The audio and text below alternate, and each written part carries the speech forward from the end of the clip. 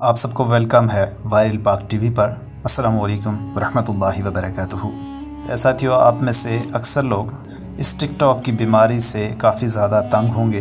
मैं बारहा इस मतलब वीडियोस बनाकर इस सोसाइटी के नौजवानों, बच्चों और बच्चियों के दिलों में इसके अगेंस्ट नफ़रत डालने की कोशिश में इसलिए लगा रहता हूँ कि यहाँ पर इज़्ज़तें खाक में मिल रही हैं।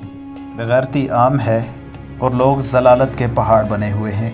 मुलाहजा कीजिए आज की इस वीडियो को। ये दोनों भी टिकटॉकर्स हैं और इन्होंने पॉपुलैरिटी के लिए ये तरीका अपनाया है कि बेगैरत बन जाओ, बेशरम बन जाओ। एक तरफ़ ये लक्कड़ का बंदर और दूसरी तरफ़ ये प्लास्टिक का खुसरा। आवाम को खुश करने में मसरूफ़ हैं। आवाम क्या इनसे खुश होगी?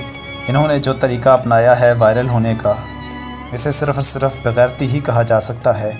और शूर रखने वाले इस बात को अच्छी तरह जानते हैं कि ऐसे लोगों के यहाँ गैरत नाम की कोई चीज़ नहीं होती। इन्हें अच्छे बुरे का कोई फ़र्क नहीं होता। तो ऐसे लोगों को फॉलो करने के बजाय, ऐसे लोगों के पीछे चलकर, ख़ुद को ख़राब करने के बजाय, हमें चाहिए कि हम अपनी नौजवान नस्ल को समझाएँ कि पॉपुलैरिटी सब कुछ नहीं होती। आज एक्टर्स और एक्ट्रेसेस क्यों अपनी जानें खुद ले रहे हैं? यही वजह है कि उनके दिल में सुकून नहीं है। तो सुकून बेहयाई में तलाश करोगे तो कैसे मिलेगा? अल्लाह कहते हैं कुरान में कि बेशक दिलों का सुकून ज़िक्र इलाही में है। तो हमें म्यूज़िक में नहीं म्यूज़िक पर नाच कर नहीं, बल्कि अपने रब को याद करके ही सुकून मिल सकता है। आपकी इस मतलब क्या राय है? कमेंट सेक्शन आपके लिए खुला है। मैं आपके कमेंट का इंतज़ार करूँगा। आप सबके सपोर्ट का बेहद शुक्रिया। चैनल से पहले चैनल सब्सक्राइब करें बेल आइकन प्रेस करें।